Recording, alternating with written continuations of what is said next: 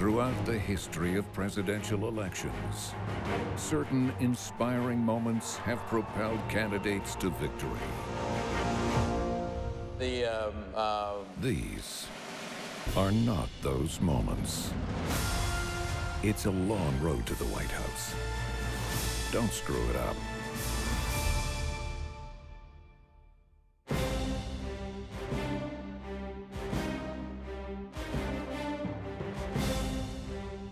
If you had told us one year ago that we were going to come in third in Iowa, we would have given anything for that.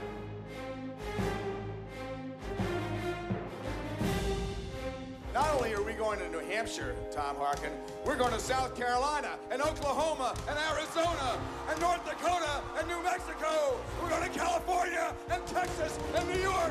And we're going to South Dakota and Oregon and Washington and Michigan.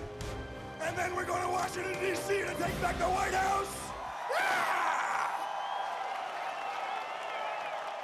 You know, the difference between uh, just an incidental gaffe and, and one that really can bring down a campaign is if that gaffe somehow speaks to something that the, the public and the media are suspicious of about that character. So, for example, Howard Dean, um, he's kind of a high-strung guy, and uh, his opponents in the race were kind of whispering, you know, this guy cannot be trusted. He's not going to be a cool commander-in-chief. This guy's going to have his finger on the uh, atomic bomb button, right?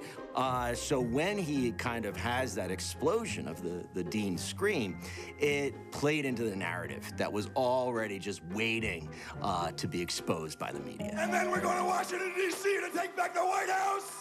Yeah!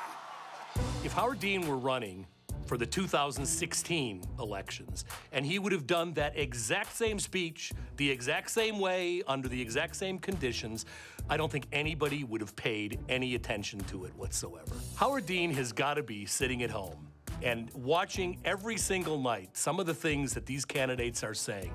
And he's got to wonder at the unfairness of the universe uh, that he was born just a little bit too early. Has anyone ever told you you look just like Charlie Chaplin? Oh my God, can you do the waddle? Do the waddle. Do it, do